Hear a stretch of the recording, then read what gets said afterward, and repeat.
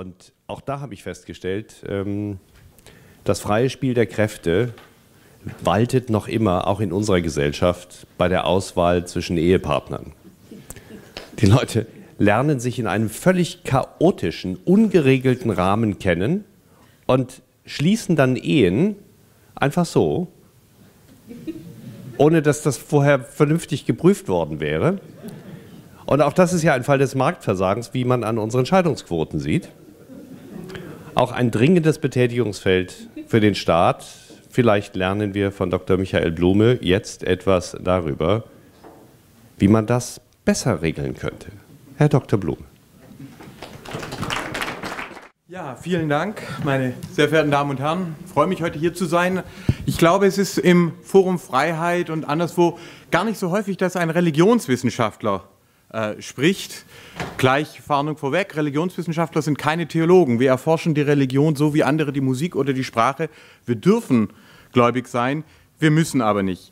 In meinem Fall, ich bin's, bin evangelisch, meine Frau ist muslimisch, wir haben drei Kinder, der interreligiöse Dialog kann fruchtbar sein, hat kein Staat geplant, ist so passiert. Ähm, und dass ich drei Kinder habe und religiös bin, hängt miteinander zusammen. Nun werden Sie sich vielleicht fragen, was soll denn das? Wir sind beim Forum Freiheit, hier geht es um Geld, Eigentum, Macht. Es gab aber einen großen Vordenker der Freiheit, der gesagt hat, die Idee der Freiheit steht in einem ganz anderen Dienst, nämlich in der des Lebens selbst. Friedrich August von Hayek hieß der. Und ich bin heute hier, weil ich während der Forschungen damals zum Thema Religion und Demografie entdeckt habe, mein Gott, der hat recht. Was er da geschrieben hat, haut empirisch hin.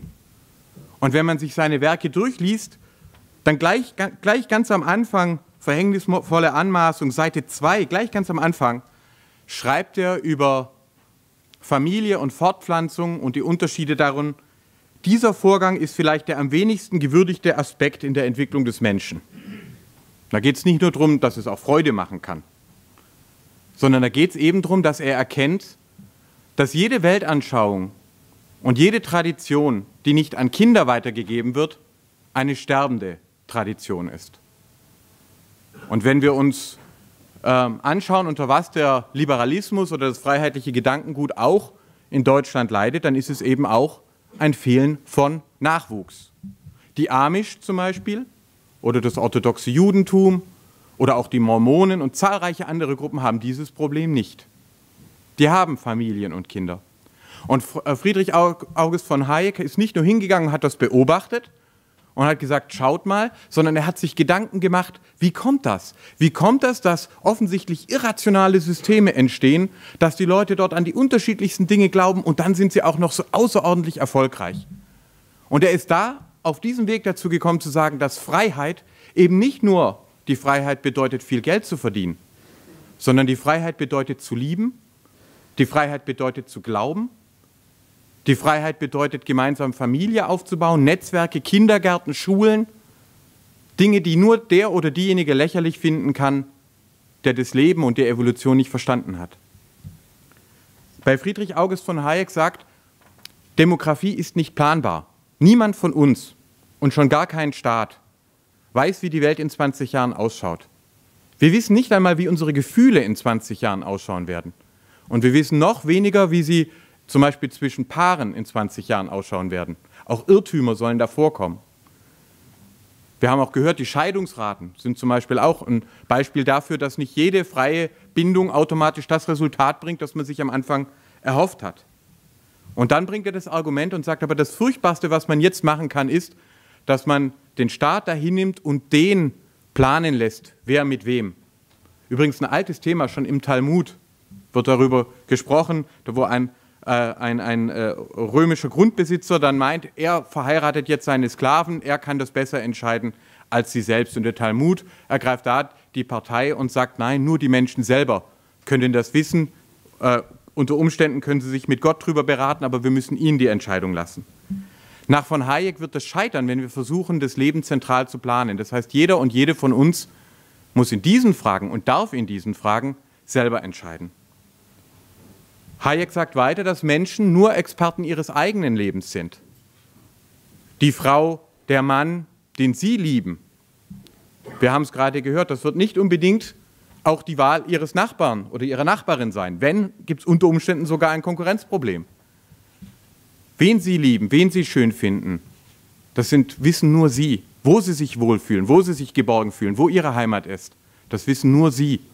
Das heißt, auch da können, kann keine zentrale planende Stelle an die Stelle Ihres Herzens, darf man im Liberalismus auch mal wieder daran erinnern, Herz, nicht nur Kopf, nicht nur Geldbeutel, Herz ähm, äh, treten, sondern Herz statt Herz. Aber Hayek sagt auch, wir sind nicht ganz alleine. Wir können diese unglaublich schweren Entscheidungen eben nicht nur treffen, indem wir uns das alles selber ausdenken oder in eine Excel-Tabelle berechnen, sondern er sagt, uns sind Traditionen zugewachsen, ähm, Vorbilder, Regeln, die sich kein einzelner Planer ausgedacht hat, sondern die Menschen entdeckt haben über Generationen hinweg, die Eltern an ihre Kinder weitergeben oder Großeltern an ihre Enkel, wo man sagt, wie das funktioniert, wo man sich kennenlernen kann, wie das früher funktioniert hat, auf was man achten muss, wie man einander umwirbt, wie man sich findet, wie man Streit, Konflikte, die dazugehören, ordentlich austrägt. Und da sagt Hayek, und das war eben der Punkt, wo ich sehr überrascht bin, in den Religionen finden wir da sehr viel. Nicht, weil jede Religion darin erfolgreich wäre. Die Shaker zum Beispiel haben das Zölibat für alle eingeführt. Das waren im 19. Jahrhundert noch 8000 Leute in 29 Gemeinden. Jetzt sind es noch drei Leute in einer.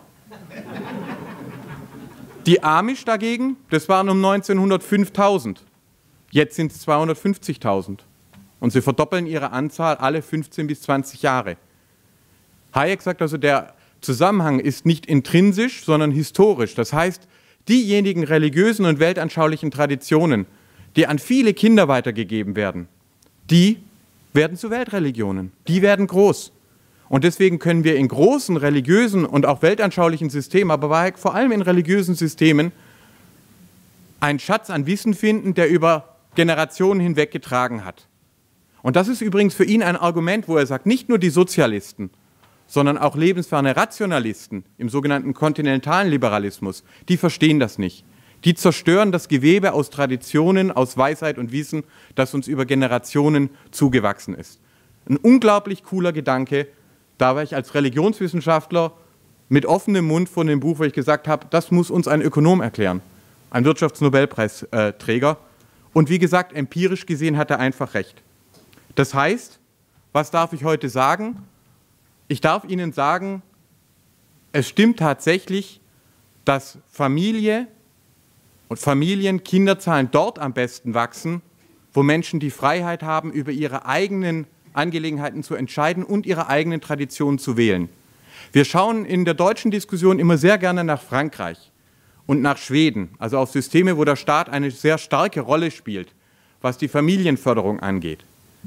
Wir schauen relativ wenig in die USA oder nach Großbritannien, wo wir sogar noch höhere Geburtenraten haben und wo sich der Staat sehr zurückhält.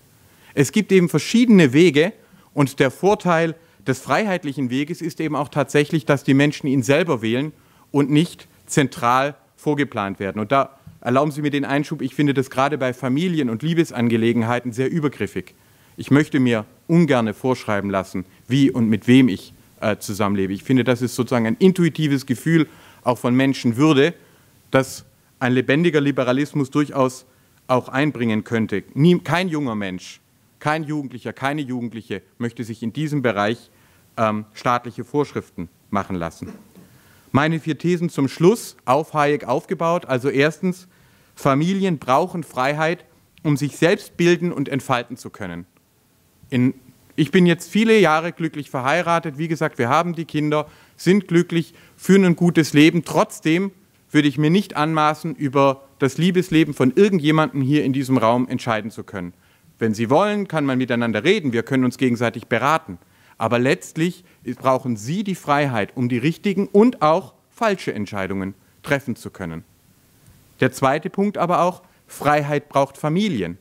Ein Liberalismus, der wahrgenommen wird als Veranstaltung von Egomanen, von Karrieristen, von Leuten mit dicken Ellenbogen, die eigentlich nur nicht äh, für andere da sein wollen, ist weder attraktiv noch zukunftsfähig.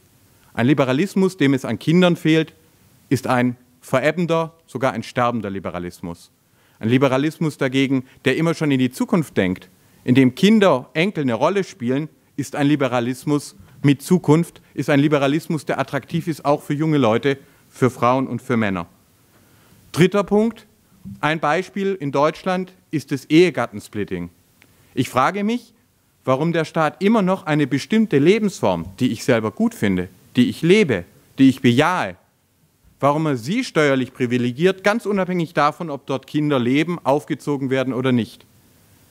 Es wäre hilfreicher, Familien, gerade auch Familien mit vielen Kindern, durch ein Familiensplitting zu entlasten und die Leute selber über ihr eigenes Geld entscheiden zu lassen. Nicht staatliche Almosen zu verteilen, sondern den Menschen das Geld zu lassen, mit dem sie ihre eigene Familie und ihre eigenen Kinder aufziehen können.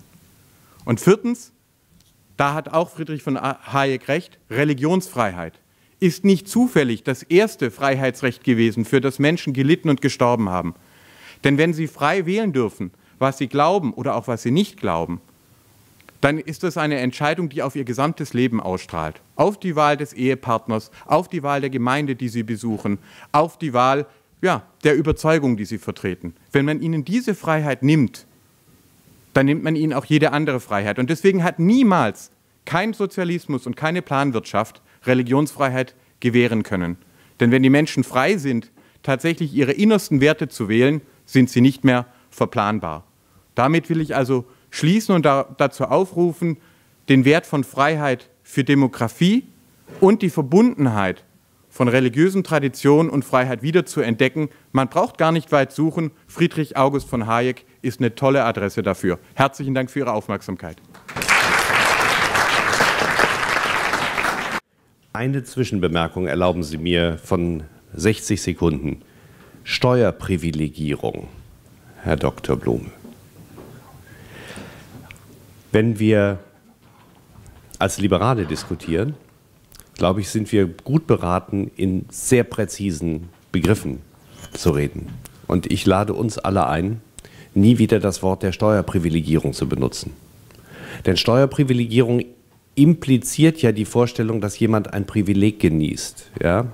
Das ist immer so diese Geschichte, äh, Günther Edra hat darüber äh, sehr, sehr schöne Filme gemacht, äh, über getrocknete und halbgetrocknete Tomaten mit 7 und 19 Prozent Umsatzsteuer. Ganz großartig. Ist eine getrocknete Tomate privilegiert, wenn sie nur 7 Prozent Umsatzsteuer hat, gegenüber der nicht getrockneten mit 19 Prozent? Wenn wir das als Privileg bezeichnen, dann ist es auch ein Privileg, wenn ich in Duisburg am Kantpark entlang spazieren gehe und nicht ausgeraubt werde. Weil die meisten, die dort langlaufen, werden ausgeraubt.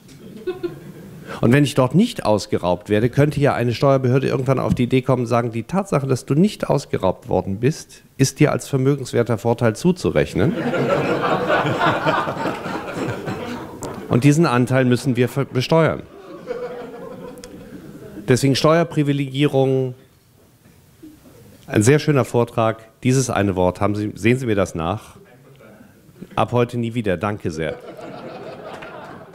Herr Dr. Dürrück.